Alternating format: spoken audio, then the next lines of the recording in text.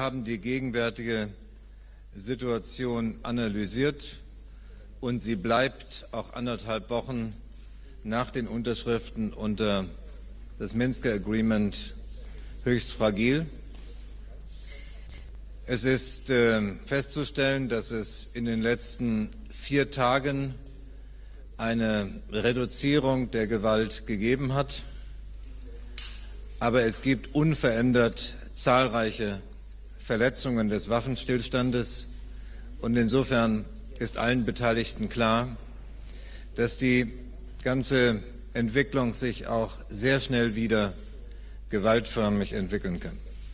Vor diesem Hintergrund müssen wir noch ehrgeiziger sein, die einzelnen Schritte aus dem Minsker Agreement jetzt in die Tat umzusetzen. Bei dem Hintergrund mag es ein ganz gutes Zeichen sein, dass auf der militärischen Ebene jedenfalls eine erste Verständigung über den Abzug schwerer Waffen zwischen der ukrainischen Seite, der russischen Seite und Vertretern der Separatisten gegeben hat. Es kommt nur jetzt darauf an, dass diese Vereinbarung auf der militärischen Ebene in die Tat umgesetzt wird. Und dabei sind wir noch nicht. Deshalb muss es jetzt in den nächsten Tagen genau darum gehen.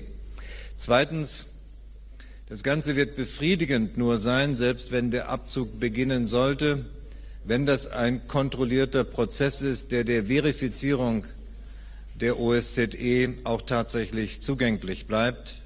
Und deshalb hat heute im Mittelpunkt unserer Gespräche gestanden, wie wir die OSZE und ihre Möglichkeiten so weit verbessern, dass ein hoffentlich bald beginnender Rückzug der schweren Waffen auch tatsächlich überwacht werden kann.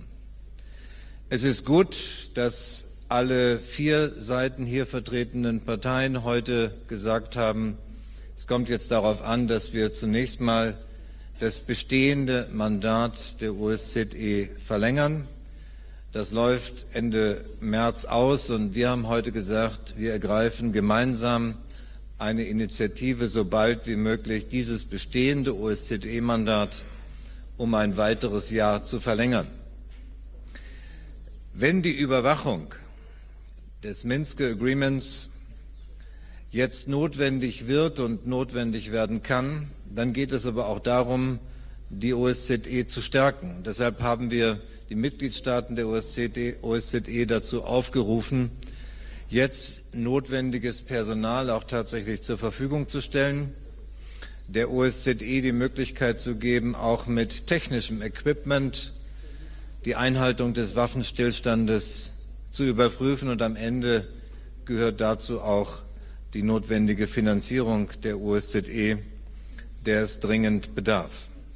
Wir haben heute unsere Mitarbeiter, die politischen Direktoren gebeten, in der Zeit, in der wir uns auf Ministerebene nicht sehen können, den Kontakt so dicht zu halten, die Treffen untereinander so dicht zu halten, damit wir jederzeit in der Lage sind, erstens den Status der Umsetzung der Minsker Vereinbarung zu überprüfen und auch notwendigerweise, wenn notwendig, auf der Außenministerebene uns wieder, wieder zu treffen.